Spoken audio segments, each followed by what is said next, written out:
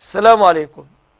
عليكم السلام ورحمة الله وبركاته. نعم. بعد بعد إذنك حضرتك أنا عندي أرض تبعد عن بيتي بأكتر من 120 آه، كيلو.